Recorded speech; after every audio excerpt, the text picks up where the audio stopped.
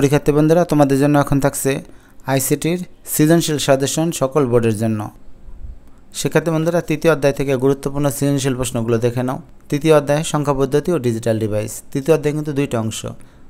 তো বেশি গুরুত্বপূর্ণ টপিক দেখো প্রথম অংশ থেকে, যেটা হচ্ছে সংখ্যা পদ্ধতি এখান থেকে কোন কোন টপিক থেকে প্রশ্ন হতে পারে? বিভিন্ন ধরনের সংখ্যা পদ্ধতি বাইনারি, অক্টাল, হেক্সাডেসিমেলের যোগ বিয়োগ, রূপান্তরের অঙ্ক এবং দুইয়ের পরিপূরক পদ্ধতি। আর দ্বিতীয় অংশ অর্থাৎ ডিজিটাল ডিভাইস অংশ থেকে গুরুত্বপূর্ণ টপিকগুলো হলো বুলিয়ান উপপাদ্য ডিমর্গানের উপপাদ্য, সত্যক সরণী, মৌলিক গেট, সর্বজনীন গেট, বিশেষ gate encoder decoder, adder. Adder মানে হাফ অ্যাডার, ফুল অ্যাডার। উদ্দীপকটা এমন থাকতে পারে সংখ্যা পদ্ধতি অংশ থেকে যে কয়েকজনের পরীক্ষার নম্বর দেওয়া থাকবে অক্টাল, বাইনারি, হেক্সাডেসিমেল অথবা ডেসিমেল পদ্ধতিতে অথবা কয়েকজনের কলেজের রোল নাম্বার দেওয়া থাকবে অথবা কয়েকজনের বাজারে গিয়ে বিভিন্ন জিনিস কেনার পরিমাণ উল্লেখ করা থাকবে, টাকার পরিমাণ থাকবে, মোট কথা বিভিন্ন ধরনের সংখ্যা পদ্ধতি দেওয়া থাকবে। এখন এই সংখ্যাগুলো যে দেওয়া আছে, এই সংখ্যাগুলো থেকে কীভাবে গ এবং ঘ নম্বরে প্রশ্ন আসতে পারে? যেমন উদ্দীপকের কোনো একটা সংখ্যা দেখিয়ে বলবে যে সংখ্যাগুলো যোগ করো, যোগফল আবার বাইনারিতে বা ডেসিমেল ইত্যাদিতে প্রকাশ করো, তোমরা টেস্ট পেপার দেখলে আইডিয়া পেয়ে যাবে যে এই ধরনের প্রশ্নগুলো হয়। আবার এমনও প্রশ্ন আসতে পারে, উদ্দীপকের দুইজনের মধ্যে কে বেশি নম্বর পেয়েছে?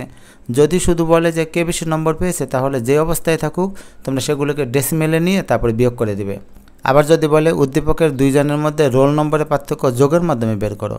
যদি যোগের মাধ্যমে বের করতে হয়, তাহলে তো জানো যে দুইয়ের পরিপূরক পদ্ধতি লাগবে। উদ্দীপকের দুইজনের মধ্যে কে বেশি টাকা খরচ করেছে, তা দুইয়ের পরিপূরক পদ্ধতি ব্যবহার করো। এভাবে প্রশ্ন আসতে পারে। অথবা উদ্দীপকের প্রথম, দ্বিতীয় সংখ্যাকে বাইনারি, অক্টাল, ডেসিমেল বা হেক্সাডেসিমেল ইত্যাদি পদ্ধতিতে রূপান্তর করো। অথবা রূপান্তর করার পদ্ধতি নিয়ে যে কোনো একটা প্রশ্ন থাকবে। এমন হতে পারে উদ্দীপকের যে কোনো সংখ্যাকে কোনো একটা পদ্ধতিতে রূপান্তর করতে বলা হবে, অথবা সবগুলো সংখ্যাকে যোগ করতে বলা হবে। শিক্ষার্থী বন্ধুরা, এই ধরনের অনেকগুলো ভিডিও আমার এই চ্যানেলে আছে। তোমরা যেটা পেতে চাও, তোমরা ভিডিওতে সার্চ দেবে Nirob sir hexadecimal Nirob sir decimal এভাবে যে কোনো অংশ সার্চ দেওয়ার সময় আমার নামটা ব্যবহার করবে, তাহলে তোমরা সহজেই সার্চ করে পেয়ে যাবে। এরপরে ডিজিটাল ডিভাইস অংশ থেকে যেমন উদ্দীপকগুলো থাকতে পারে, উদ্দীপকে বিভিন্ন যৌগিক গেটে চিত্র দেওয়া থাকবে, উদ্দীপকে হাফ অ্যাডার, ফুল অ্যাডার ইত্যাদি চিত্র দেওয়া থাকতে পারে। কিন্তু চিত্রে কিন্তু নাম দেওয়া থাকবে না, তোমাকে চিহ্নিত করতে হবে যেটা কিসের চিত্র।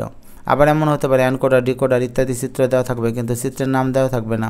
বিভিন্ন ধরনের সত্যক সারণী দেওয়া থাকতে পারে এবং প্রশ্ন এরকম হতে পারে। এক নং উদ্দীপকের আউটপুট সমীকরণ, সরলীকরণ সত্যক সারণী নির্ণয় করো। তিনটাই কিন্তু একসাথে নাও আসতে পারে। সাধারণত কোনো একটা যৌগিক গেটের চিত্র দেওয়া থাকলে তার সমীকরণ এবং সরলীকরণ বের করতে বলা হতে পারে, অথবা সরলীকরণ করে তার সত্যক সারণী নির্ণয় করো এরকম আসতে পারে। দুই নং উদ্দীপকে বর্তনীটি নর গেট অথবা ন্যান গেট দ্বারা বাস্তবায়ন করা সম্ভব কিনা ব্যাখ্যা করো। খুবই গুরুত্বপূর্ণ প্রশ্ন বন্ধুরা, যে একটা যে যৌগিক গেট দেওয়া থাকবে তার যে সরলীকরণ হবে, সেটা আবার নর কিংবা ন্যান গেট দিয়ে বাস্তবায়ন করা যায় কিনা ব্যাখ্যা করো। এমনও হতে পারে দুই নম্বর উদ্দীপকে চিত্র দেয় কিসের চিত্র? এখানে একটা হাফ অ্যাডার, একটা ফুল অ্যাডার অথবা একটা শুধু হাফ অ্যাডার দেওয়া থাকতে পারে আর একটা অ্যানকোডারের চিত্র দেওয়া থাকতে পারে। এগুলো বিশ্লেষণ করতে পারবে আবার তিন নম্বর উদ্দীপকে চিত্র এক এবং চিত্র দুই কিসের চিত্র?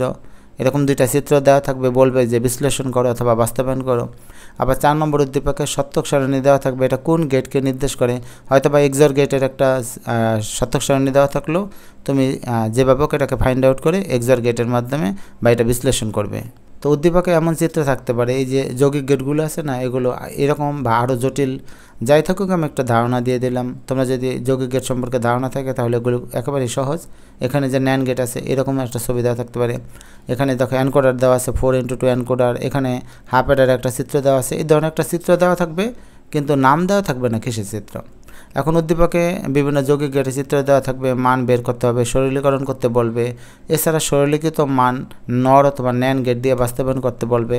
এটা কিন্তু শিওর যে নর অথবা ন্যান গেট দিবে, যদি যদি আসে এই ধরনের প্রশ্ন। এরপর হাফ অ্যাডার এবং ফুল অ্যাডারে চিত্র দেওয়া থাকতে পারে, চিত্র বিশ্লেষণ করতে বলতে পারে এবং এক নম্বর চিত্র দিয়ে দুই নম্বর চিত্র বাস্তবায়ন করা সম্ভব কিনা, অর্থাৎ হাফ অ্যাডার দিয়ে ফুল অ্যাডার বাস্তবায়ন করা যায় কিনা, এটা তোমাকে ব্যাখ্যা করতে বলবে। এই ধরনের ভিডিও সব আছে বন্ধুরা, তোমরা দেখে নিও। এছাড়া হাফ এডারে চিত্র দেওয়া থাকবে এবং চিত্রের ইনপুট সংখ্যা একটি বৃদ্ধি করলে যে নতুন বর্তনী তৈরি হয়, তা চিত্রের বর্তনী দ্বারা বাস্তবায়ন করো। তো চিত্রের ইনপুট একটা বাড়লে সেটাকে ফুল অ্যাডার বলে, তখন প্রশ্ন করবে যে হাফ অ্যাডার দিয়ে ফুল অ্যাডার বাস্তবায়ন করো। তো একই ধরনের প্রশ্ন কিন্তু বারবার। তো এই অধ্যায়টা আসলে কঠিন না, যদি আমার ভিডিওগুলো দেখো তাহলে অনেক সহজ মনে হবে।